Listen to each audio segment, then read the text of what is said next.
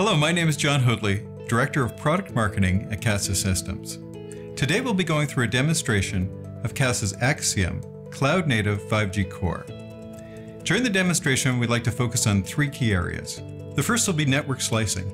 And network slicing is the cornerstone feature of the 5G Core, and it uses the new service-based architecture. Now, network slicing is the ability to create a logical network that has different parameters for each different user, in fact, each different session. And those parameters would be different latency, different throughput, different availability, different reliability, different security capabilities. And the best way to think of network slicing is really to think of a few examples. So a couple examples, let's focus first on IoT, the Internet of Things. Now, with the millions of sensors out there, many are doing different tasks. Some are doing mission critical tasks like autonomous driving or monitoring a gas pipeline. Latency is incredibly important. Availability and reliability must be delivered, but the throughput isn't all that great, and the number of sessions may not be all that large. So that's a slice. Another slice could be again with the Internet of Things just monitoring.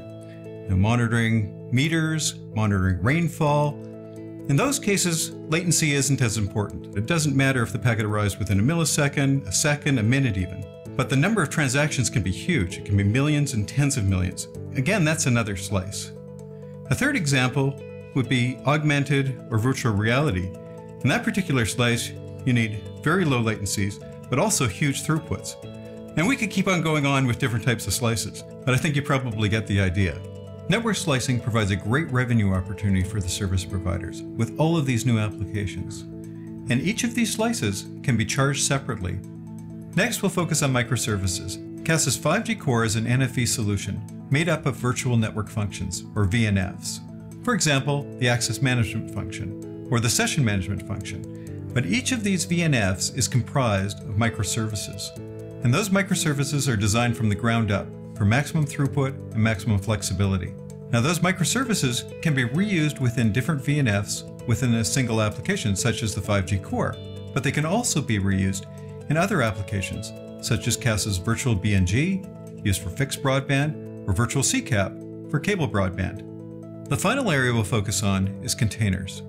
CASA's 5G core uses Docker's containers that are orchestrated by Kubernetes. And what this provides is a seamlessly scalable network that is both reactive and responsive. So now let's move on to the demo itself and look at the setup. The diagram shows key VNFs in the 5G core architecture. As you can see, there's a separation of the control and user plane. This was first introduced with 4G CUPS, and you can see that in another CASA video demo. The separation of control and user plane allows for flexible geographic location of the VNFs, for example, a user plane VNF could be located at the edge of the network for low latency applications. In the demo, the control plane VNFs are in a Kubernetes cluster. Let's zoom in on an example 5G Core VNF. We've chosen the session management function. All of the VNFs are composed of microservices, which are orchestrated by Kubernetes.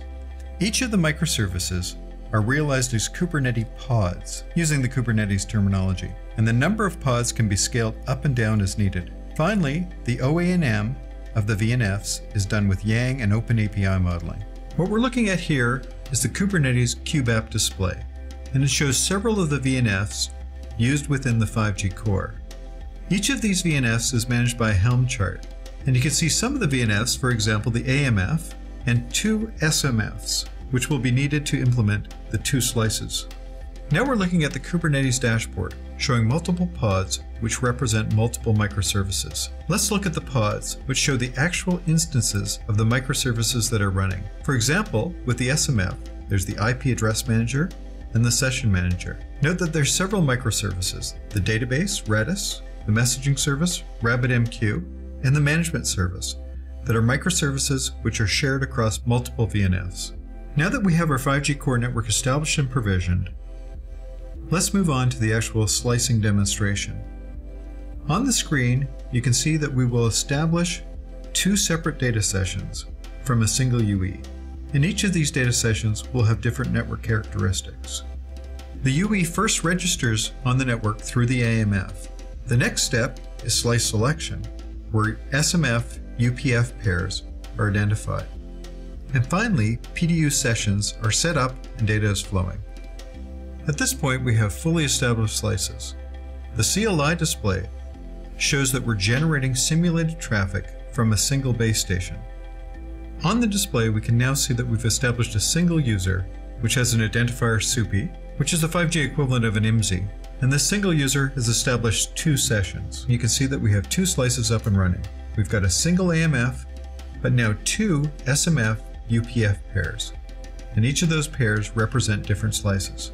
Also, the output shows there's two PDU sessions, each with different NSS AIs. You can see the session associated with the first UPF, or first slice. And now we're going to be showing data flowing through that slice. And that traffic continues to build. Now we've moved on to the second slice, the second UPF, and you can see the session here. And again, data is flowing through this slice. And it continues to build. You've just seen our Axyom 5G Cloud Native Core in action delivering network slices. Our Kubernetes container-based implementation delivers seamless scaling, and our microservices design delivers software flexibility. If you're interested in getting more detailed demonstration or finding out more information, please contact a CASA sales representative or reach out to us at casa-systems.com.